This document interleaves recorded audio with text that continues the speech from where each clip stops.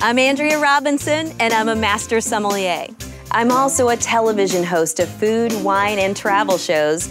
As a trained chef, I've written four books on food, wine, and cooking.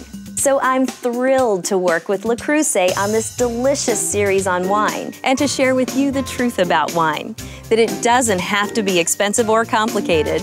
Wine makes food taste better, and it's fun.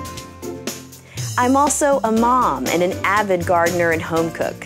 My family and I live in wine country, and we cook dinner with each other pretty much every day. So I'll show you my absolute favorite food and wine pairing tips that can turn even everyday meals into a special occasion. So come along and let's hit the wine trail.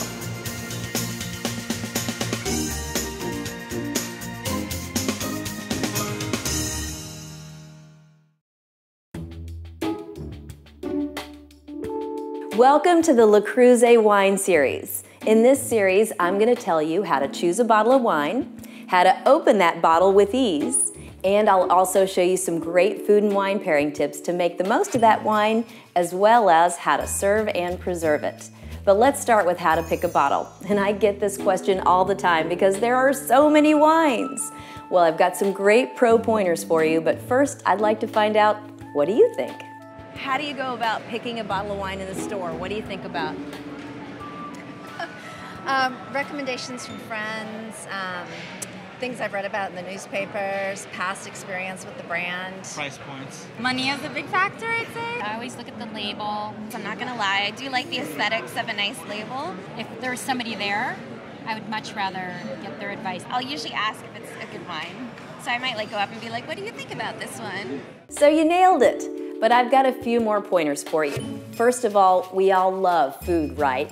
really consider the food that you're going to pair that wine with because it will make it sing. In fact, I've got a couple of videos coming up in this series devoted just to food and wine pairing that you're going to love. The next pro point is learn your palate. And there are lots of ways to do that, but it starts with trying a lot of different wines. You may want to put together a tasting group, Another great way to try different wines is to go by the glass in restaurants. And finally, my best tip for learning your own palate is to start with what I call the big six grapes. Three whites and three reds that are the style benchmarks for the entire wine world. And if you learn those grapes, you'll learn a whole lot about your palate, and you'll also learn about one of the classic wine countries in the entire world, France. Meet the big six, starting with Riesling, Sauvignon Blanc, and Chardonnay for whites, and for reds, Pinot Noir, Cabernet Sauvignon, and Syrah. For our Big Six whites, we're going to start with the Riesling, which hails from the Alsace region of France on the eastern border of the country.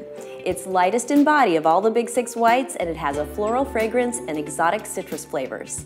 Now let's move to Sauvignon Blanc, which hails from the Loire Valley region in France, named for the beautiful long river that runs through it.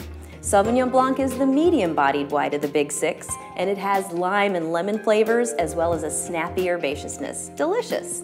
And finally, our Big Six grape, Chardonnay, which hails from the Burgundy region of France, a beautiful classic growing region. This is the fullest bodied of the Big Six grapes, with everything from crisp and tangy lemon and apple flavors all the way to lush and exotic tropical fruit flavors. Fantastic.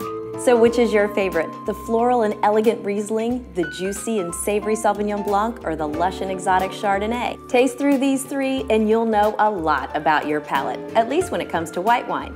Now for the reds. Pinot Noir. It also hails from the Burgundy region of France. Remember our Chardonnay white? Well, this is its red grape partner, and it is delicate and silky with delicious cherry flavors and an earthy quality. Next, we have Cabernet Sauvignon, which comes from the famous Bordeaux region of France in the southwest. Cabernet is medium to full bodied with dark fruit and rich velvety tannins. And finally, we have the Syrah grape, which comes from the Rhone region of France in the south, where it's nice and warm, giving you lots of peppery spice and luscious dark fruit. Pinot Noir, Cabernet Sauvignon, and Syrah Taste through those big six grapes and you will know the world of red wine or at least have a really good start on it. Ah, so there you have it. Once you know your own palate and the big six grapes, you can start to relax about choosing a bottle of wine and just enjoy it. At least once you get the cork out. That's coming up next video.